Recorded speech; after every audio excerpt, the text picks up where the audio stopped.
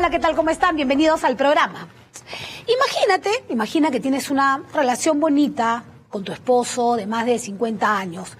Ustedes tienen siete hijos, viven en una casa y de pronto pues tú decides visitar a tu hija en los Estados Unidos, pero cuando quieres volver llega la pandemia y te ves obligada a quedarte un tiempo más y en ese momento lamentablemente te enteras de que tu esposo tiene COVID y lamentablemente pasó lo peor, acaba de morir el hombre con el que no solo te casaste y tuviste hijos, sino además que el amor era tan grande, el amor que ambos sentían, que incluso unos años antes ustedes pues se casaron por la iglesia. Quiero que ustedes vean estas imágenes como una suerte de renovación de votos, reafirmando así el juramento de amarse para toda la vida. Entonces, imagina tú, después de vivir por más de 50 años con el padre de tus hijos, que estás evidentemente completamente destruida. Pero cuando regresas a tu casa, cuando regresas al Perú y quieres ingresar a tu casa, no puedes entrar porque cuatro de tus siete hijos decidieron pues que como el padre ya murió, tú ya no tienes nada que hacer en la que es tu casa. Así que te quedaste prácticamente sin esposo, sin casa y sin cuatro hijos. Pero quiero decirles que esta historia no va a quedar así. Soy Andrea Llosa y esto es Nunca Más. Mira, ¿cómo estás haciendo? Ay, ay, ¿Qué pasa? ¿Qué pasa? Ponte la mascarilla. Estoy conmigo. ¿Qué estás haciendo? Ella manipula a mi madre. Mentiroso. Yo aquí digo la verdad. Mentirosa, Tengo lo único que 50, tienes es la casa de mamá. 52 No años. Mira, tengo 52 años. Mi padre, ¿por qué? No, porque Él siempre ha tenido preferencia. No, es tu padre. No es tu padre. Está vivo. Tu padre está vivo. Y tú estás viviendo con tu padre. nunca he tenido una relación con mi papá. Toda la vida me he dedicado a mi padre. Por eso mi padre daba su vida por mí. Toda la vida. Yo soy la legítima. ¿No ves la cara? Mis ojos. Bueno, Jenny, Yo soy igualita a mi padre. ¿por qué nunca no. hablaste cuando mi padre estaba en vida? Por la tarjeta nomás, por La la tarjeta, la billetera, fuerte. ¿Usted ha tenido alguna relación eh, amorosa, clandestina, eh, con su cuñado? Nunca. Piensa que por eso voy a aceptar darle mi casa. ¿Están de acuerdo ustedes dos Por en hacerse el que sí, de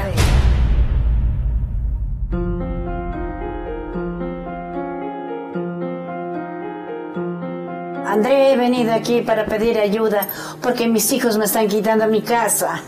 Han transformado las chapas, han soldado las puertas de que son metálicas. Absolutamente no quieren que entre a mi casa. ¿Y ¿Cómo es eso posible? ¿Tú los has criado? Yo les he criado, yo les he parido, les he dado educación hasta lo que ellas puedan. Nunca les he hecho faltar en nada. Toda mi vida he trabajado arduamente, he trabajado, he trabajado. Y ahora mis hijas me quieren quitar mi casa, todo. Ya me han encerrado. Desde que ha muerto mi esposo ya me han encerrado. Dice que ya no es nada mío.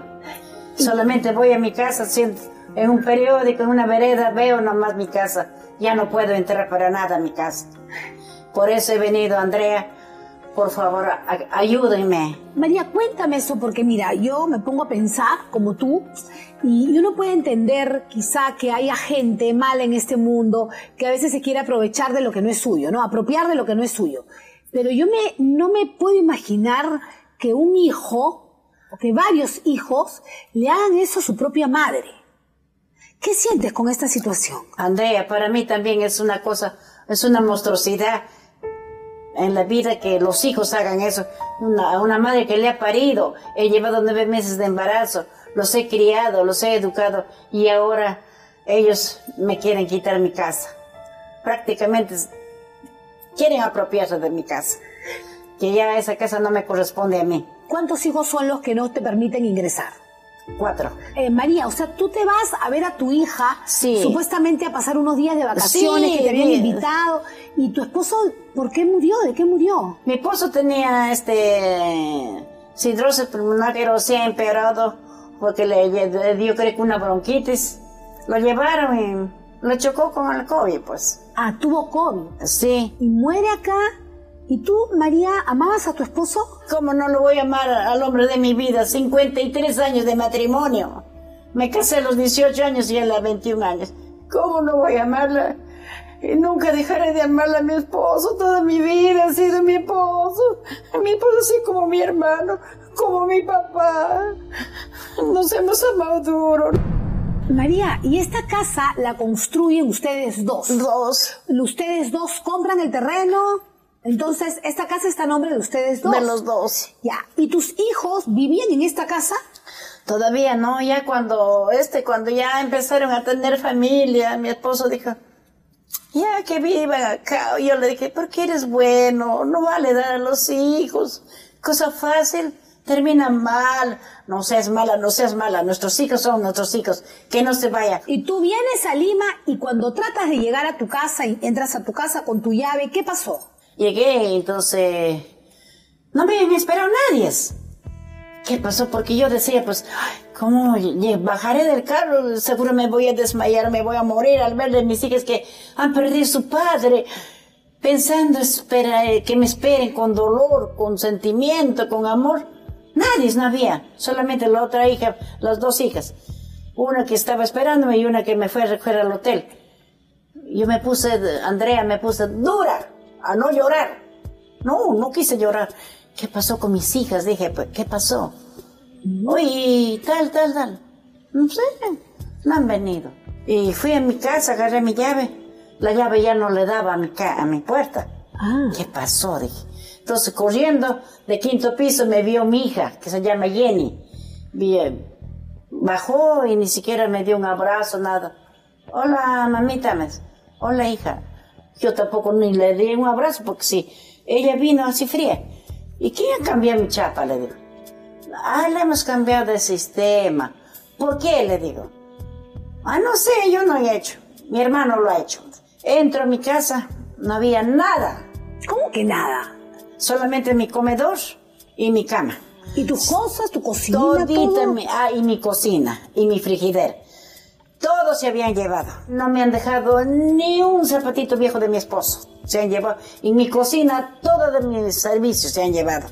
Mis fotos, mis recuerdos, mis álbumes, todito, todito se habían llevado.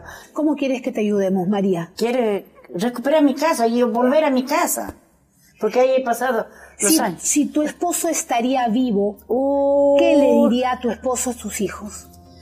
Mi esposo era ley. Mi esposo no quería ni que me toque el aire. Que hubiese permitido mi esposo. Mi esposo me amaba, yo lo amaba, nos queríamos. Increíble, ¿no? Pero en el próximo bloque ustedes van a ver todo el infierno que vive doña María cuando va acompañada de su hija Verónica para exigirle a sus otros, a los cuatro hijos llamados Orlando, Janet, Jenny y Luis Ramírez Vélez, que se vayan de una vez por todas de su casa. Pero uno de sus hermanos termina escupiéndole en la cara, a que ustedes no lo crean. Ustedes no pueden perderse esta historia porque quiero decirles que en unos minutos nosotros vamos a conversar con los hijos. Están llegando aquí al programa, ya van a estar aquí con nosotros en el set y vamos a hacer todo lo posible para encontrar el final justo que esta historia merece. Va- Vamos a regresar con eso, pero antes quiero decirles algo. Un fuerte dolor de cabeza pues transforma tu mundo. Por eso si tienes un dolor de cabeza fuerte que no te deja trabajar o no te permite disfrutar de tu familia y de tus amigos, toma Quitadol Migraña. Quitadol Migraña, gracias a su tecnología de mejor disolución y a su rápida absorción, alivia rápidamente dolores tan fuertes como la migraña y sin irritar tu estómago. Con Quitadol Migraña tu mundo volverá al fin a la normalidad y tú podrás seguir con tu vida. Quitadol Migraña rápido contra dolores fuertes y sin irritar tu estómago y recuerda algo importante, que Quitadol Migraña cuenta con el respaldo de Teva y que ahora lo puedes comprar además online en las principales cadenas de farmacias o si no en tu botica en la más cercana. Ahora sí, vamos a regresar en el próximo bloque con una parte de la historia que ustedes no se pueden perder. Volvemos. Mira, ¿cómo estás eso? Ay, ay, ¿Qué pasa? ¿Qué pasa? Ponte la mascarilla.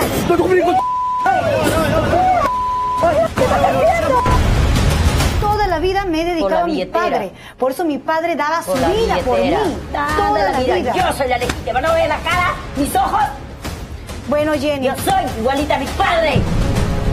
¿Usted ha tenido alguna relación eh, amorosa, clandestina, eh, con su cuñado? Nunca. Piensa que por eso voy a aceptar darle mi casa. ¿Están de acuerdo ustedes dos en por hacerse supuesto el que sí, examen de Andrea.